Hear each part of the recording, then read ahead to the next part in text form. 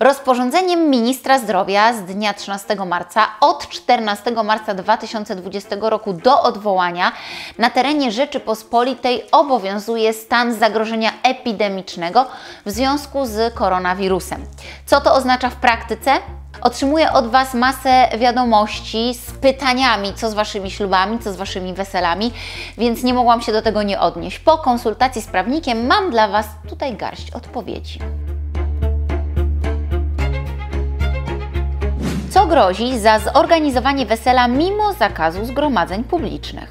Słuchajcie, organizacja wesela nie narusza obowiązujących reguł, jeżeli wesele to odbywa się w warunkach domowych, a organizator zapewnia swoim gościom jedzenie przygotowywane we własnym zakresie lub korzysta z usług gastronomicznych na wynos. Bez względu na wielkość przyjęcia został wprowadzony taki zakaz, który polega na tym, że usługi gastronomiczne nie mogą być świadczone, czyli nie może być jedzenie przygotowane, podawane, dotyczy to jedzenia oraz napojów gościom.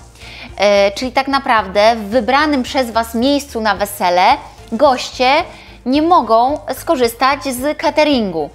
I teraz, e, jeżeli do, takiego, do takiej sytuacji dojdzie, to odpowiedzialność za tę sytuację ponosi restaurator, który nie zastosował się do obowiązującego zakazu. Więc w skrócie chodzi o to, że w wybranym przez Was na wesele miejscu ani Wy, ani Wasi goście nie dostaniecie nic ani do jedzenia, ani do picia. Czy wesele należy odwołać w związku z zakazem zgromadzeń publicznych? W tej chwili nie ma żadnego przepisu, który zobowiązywałby Was do odwołania własnego wesela ale legalnie nie może się ono odbyć w żadnym lokalu usługowym świadczącym usługi gastronomiczne.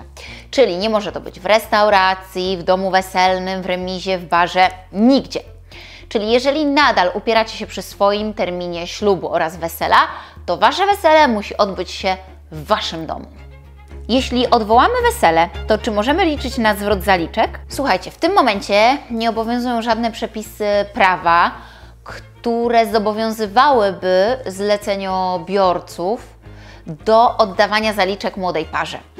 Więc tak po prostu, po ludzku, w tej sytuacji musicie się z tymi swoimi podwykonawcami dogadać. E, każdy z Was jest w trudnej sytuacji i tak naprawdę wina nie leży po żadnej ze stron, że ta ich praca nie może być wykonana, bo ani to nie jest ich wina, bo oni są gotowi do świadczenia swojej usługi, ani to nie jest Wasza wina, że Wasze ślub i wesele się nie odbywają, ponieważ no taka jest sytuacja, to jest sytuacja wyjątkowa. No i teraz y, mam takie wrażenie, że zarówno oni będą chcieli się z Wami dogadać, jak i Wy powinniście z nimi się dogadać. Najprawdopodobniej zdecydują się oni na przełożenie y, wykonania swojej usługi na późniejszy termin.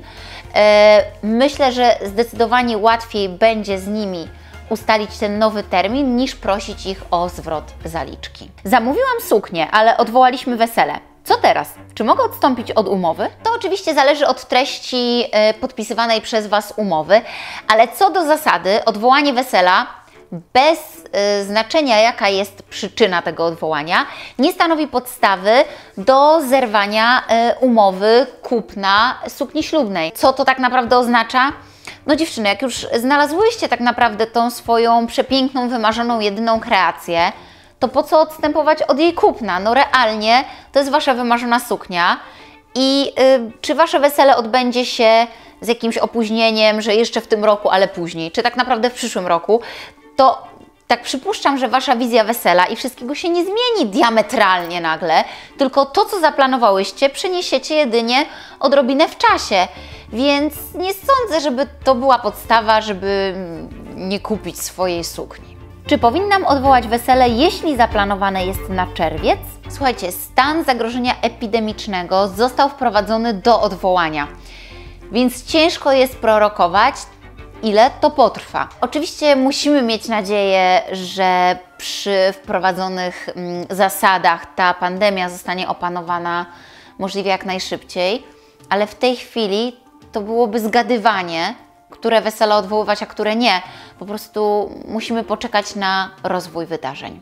Czy możemy oczekiwać od podwykonawców bezpłatnej zmiany terminu? Tak, możemy tego oczekiwać. Mam wrażenie, że wszyscy podwykonawcy będą zainteresowani wykonaniem zadeklarowanej usługi w przyszłości. Pamiętajcie o tym, że tak naprawdę dla całej branży ślubnej to jest teraz bardzo trudny okres i każdy będzie chciał po prostu odrobić te swoje mm, e, zobowiązania, których teraz nie jest w stanie wykonać.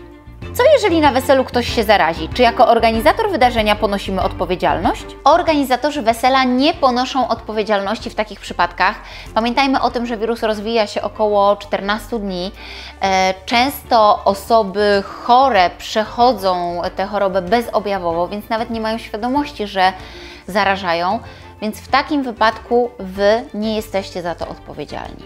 W Urzędzie Stanu Cywilnego w Warszawie ślub można wziąć tylko w określonych okolicznościach. Co to oznacza? W tej sytuacji należy skontaktować się z właściwym Urzędem Stanu Cywilnego, bo sytuacja ma się dwojako. Niektóre urzędy stanu cywilnego udzielają ślubów, tylko e, jest to ślub bez gości, czyli jest to ślub udzielany tylko młodej parze w obecności świadków. Drugą opcją jest udzielenie e, ślubu w tak zwanych wyjątkowych okolicznościach, czyli to jest w momencie zagrożenia życia lub zdrowia młodej pary bądź osób im najbliższych.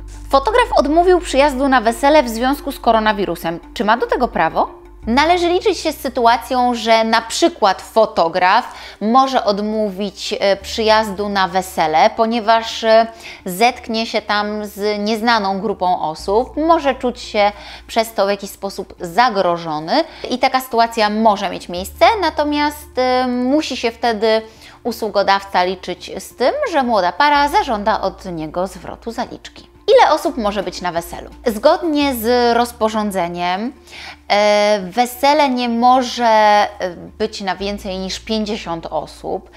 Mm, oczywiście tutaj mamy dosyć trudną sytuację, bo jedni mówią o tym, czy wesele podlega pod zgrupowanie publiczne, czy nie. To jest taka kwestia sporna. Natomiast jakby tak chłodno rozumując, jeżeli mamy ym, sytuację, w której jesteśmy proszeni o pozostawanie w domach, część osób jest w kwarantannie, stara się nas izolować y, od innych ludzi, no to y, jaki sens miałoby nagle robienie wesela na kilkadziesiąt albo kilkaset osób? No, jakby musimy podejść w tym momencie do tematu bardzo odpowiedzialnie i jakby jesteśmy społeczeństwem i musimy wspólnie działać na rzecz naszego zdrowia i życia.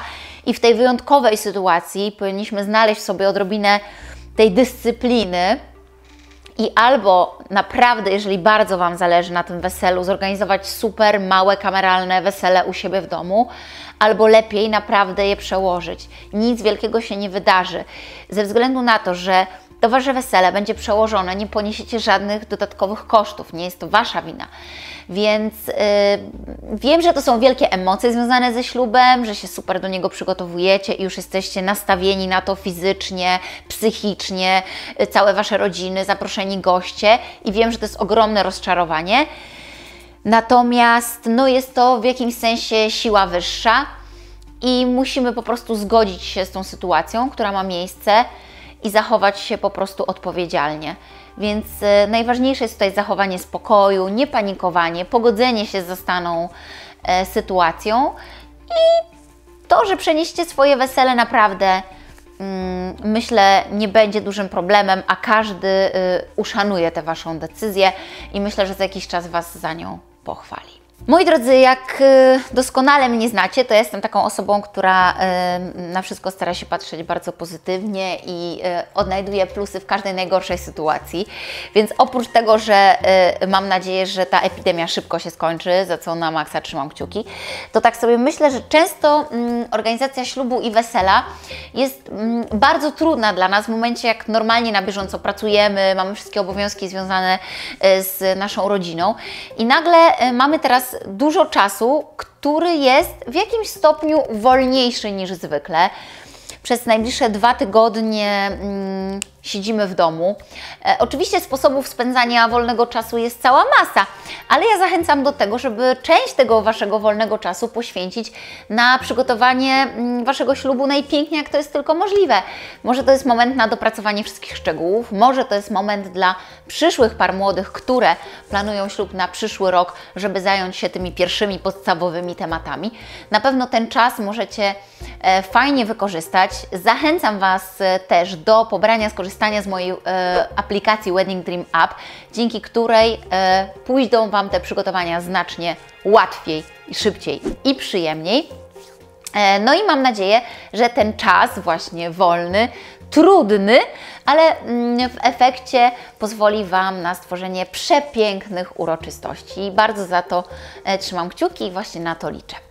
E, A ja spotkam się jeszcze z Wami e, wkrótce na live'ie, podczas e, którego będziecie mogli zadawać mi więcej pytań e, związanych e, z tą trudną sytuacją. Postaram się na nie wszystkie odpowiedzieć, bo w tym materiale pewnie nie wszystkie Wasze wątpliwości zostały rozwiane.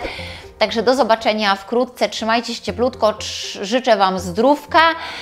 No i starajcie się nie wychodzić z domu. O wszelkich zmianach w organizacji ślubów i wesel w czasie pandemii koronawirusa informuję na moim portalu weddingdream.com. Kliknij w kółeczko w prawym górnym rogu ekranu lub w link w opisie. Jeśli spodobał Ci się ten odcinek i masz ochotę na więcej, sprawdź moje wcześniejsze materiały i koniecznie zasubskrybuj mój kanał. Wtedy nie ominą Cię żadne nowości. Do zobaczenia za tydzień.